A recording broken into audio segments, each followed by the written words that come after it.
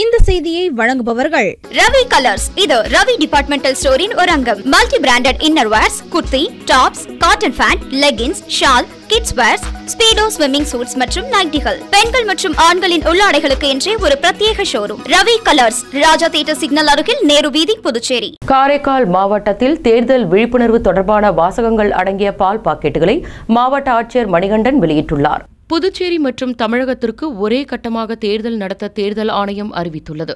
அதன்படி வரும் ஏப்ரல் பத்தொன்பதாம் தேதி புதுச்சேரி நாடாளுமன்ற தேர்தலுக்கான வாக்குப்பதிவு நடைபெறவுள்ளது.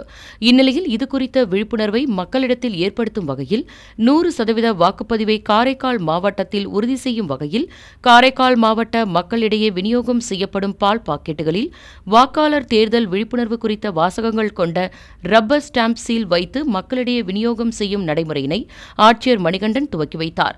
மேலும் காரைக்கால் கூட்டுறவு பால் உற்பத்தியாளர்கள் ஒன்றியம் மூலம் நாள் ஒன்றுக்கு சுமார் முப்பதாயிரம் பால் பாக்கெட்டுகளில் விழிப்புணர்வு வாசகங்கள் சீல் வைக்கப்பட்டு மக்களிடம் விநியோகிக்கப்பட உள்ளதாகவும் ஒரு மாத காலம் இந்த வாசகங்கள் அடங்கிய பால் பாக்கெட்டுகள் மாவட்டம் முழுவதும் விற்பனை செய்யப்பட உள்ளதாக தெரிவிக்கப்பட்டுள்ளது.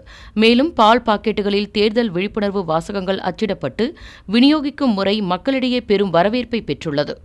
காரைக்காலில் பாராளுமன்ற தேர்தலில் பொதுமக்கள் அச்சமின்றி வாக்களிக்க வலியுறுத்தி மத்திய துணை ராணுவ படையினர் மற்றும் காவல்துறையினர் நகரின் முக்கிய சாலைகளில் கொடி அணிவகுப்பு நிகழ்ச்சியை நடத்தினர். பாராளுமன்ற தேர்தல் அடுத்த மாதம் ஏப்ரல் பத்தொன்பதாம் தேதி நடைபெறவுள்ள நிலையில் புதுச்சேரி மக்களவை தொகுதிகளுக்கான தேர்தல் பணி தீவிரமாக நடைபெற்று வருகிறது. அதன் ஒரு பகுதியாக புதுச்சேரி மாநிலம் காரைக்கால் மாவட்டத்தில் தேர்தல் பணி பாதுகாப்பிற்காக நூறுக்கும் மேற்பட்ட மத்திய துணை ராணுவ படையினர் காரைக்கால் வந்துள்ளனர். இதனைத் தொடர்ந்து நடைபெறவுள்ள பாராளுமன்ற தேர்தலில் பொதுமக்கள் அச்சமின்றி வாக்களிக்க வலியுறுத்தி காரைக்கால் மாவட்ட காவல்துறை சார்பில் மத்திய துணை ராணுவ படையினர் மற்றும் காவல்துறையினரின் கொடி அணிவகுப்பு பேரணி நடைபெற்றது. இந்த பேரணி காரைக்கால் நேரு நகரில் இருந்து தொடங்கி முக்கிய வீதிகளின் வழியாக சென்று நிறைவாக மதகடி வந்தடைந்தது.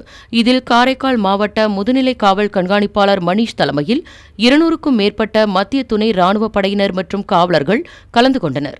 காரைக்காலில் அமைந்துள்ள ஸ்ரீ கைலாசநாதர் சுவாமி ஆலய பிரம்மோற்சவ விழாவின் முக்கிய நிகழ்ச்சியான தெப்ப திருவிழா விமர்சையாக நடைபெற்றது. புதுச்சேரி மாநிலம் காரைக்காலில் அமைந்துள்ள பிரசித்தி பெற்ற அருள்மிகு ஸ்ரீ சுந்தராம்பிகை உடனமர் ஸ்ரீ கைலாசநாதர் சுவாமி ஆலயத்தின் பிரம்மோற்சவ பெருவிழா கடந்த மாதம் பதினைந்தாம் தேதி கொடியேற்றத்துடன் துவங்கியது. இவ்விழாவின் முக்கிய நிகழ்ச்சிகளில் ஒன்றான ஸ்ரீ சந்திரசேகரர் ஸ்ரீ அம்பாளுடன் வண்ண மின் விளக்குகளால் அலங்கரிக்கப்பட்ட தெப்பத்தில் எழுந்தருளி பக்தர்களுக்கு அருள்பாலிக்கும் நிகழ்ச்சி மிக விமரிசையாக நடைபெற்றது. மேலும் தெப்போற்சவத்தை முன்னிட்டு வேத பாராயணம் பாடியபடி தெப்போற்சவம் நடைபெற்றது. அதனைத் தொடர்ந்து வான வேடிக்கையும் ஏற்பாடு செய்யப்பட்டிருந்தது. மேலும் தெப்போற்சவ நிகழ்ச்சியில் ஆலய நிர்வாக அதிகாரி உள்ளிட்ட ஏராளமான பக்தர்கள் கலந்து கொண்டு சுவாமி தரிசனம் செய்தனர். உங்கள் ஏஎம்என் டிவி செய்திகளை யூடியூபில் உடனுக்குடன் காண ஏஎம்என் டிவி பாண்டிச்சேரி சேனலை சப்ஸ்கிரைப் செய்யுங்கள். பெல் பட்டனை மறக்காமல் கிளிக் செய்யுங்கள்.